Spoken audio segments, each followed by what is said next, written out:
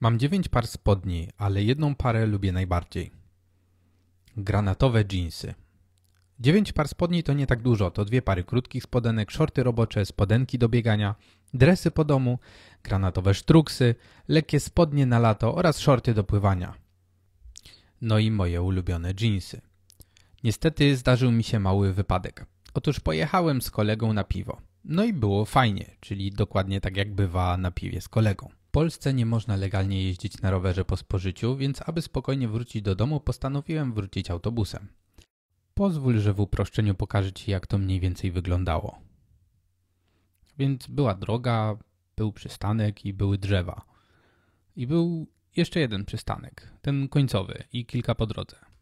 Tup, tup. Miałem do przejechania zaledwie kilka przystanków. Wpakowałem więc rower na tył autobusu i skasowałem bilet. Wychodząc na przystanku zrozumiałem co się stało. Opierając się o rower pobrudziłem spodnie. Szlak trafił moje ulubione spodnie. Najfajniejsze, najlepsze, najnowsze.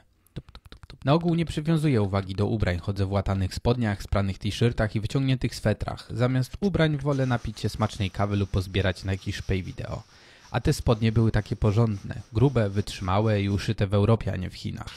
W dodatku kupione połowę taniej. Takie ładne. Taka szkoda. Żeby ich już nigdy więcej nie zabrudzić, postanowiłem założyć osłonę na łańcuch. Zabierałem się do tego od pół roku, gdy tylko dostałem ją za darmo od znajomej. Czasami bywa tak, że potrzebujemy jakiegoś bodźca do działania. W moim przypadku były to dwie czarne plamy po smaż od łańcucha. Był tylko jeden problem. Osłona była za krótka i nie dało jej się zamocować do roweru. Pojechałem więc do sklepu i kupiłem mały płaskownik z otworami. Gdy wróciłem do domu, okazało się, że nie miałem też śrubek, które pasowałyby do otworów. Ale, że tak powiem, od czego są opaski zaciskowe, czyli trytki. Właśnie w ten sposób już nigdy nie pobrudzę spodni o łańcuch, a przynajmniej taką mam nadzieję.